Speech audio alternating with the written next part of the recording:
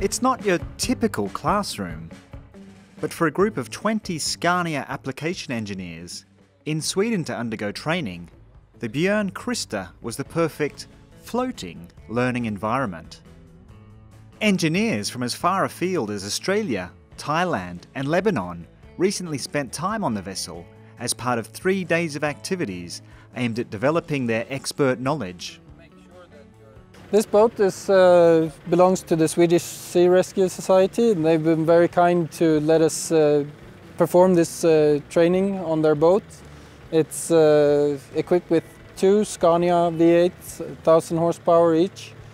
Uh, makes it run uh, 35, 36 knots, so it's quite a fast vessel. We've been doing uh, actual physical uh, tests, uh, running the engine, logging data and drawing diagrams showing uh, the engine interaction with the propulsion system of this boat. Scania application engineers ensure the company's marine and industrial engines are married perfectly to the various types of equipment owned by customers. Seeing engines in use in real life while learning the latest diagnostic methods vastly improves the service they can bring to customers. It brings um, great value to the customer. Uh, they can see that we're experienced in what we do. Uh, we can approach it more professional.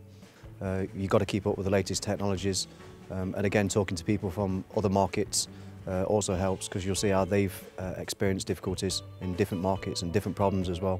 It is important because we are uh, selling a premium brand, a premium product, but we need to make sure that this good engine is also installed in a good vessel. So we need to make sure that the installation that it's going in needs to be performing the same way at the same high quality as the, uh, as the engine itself.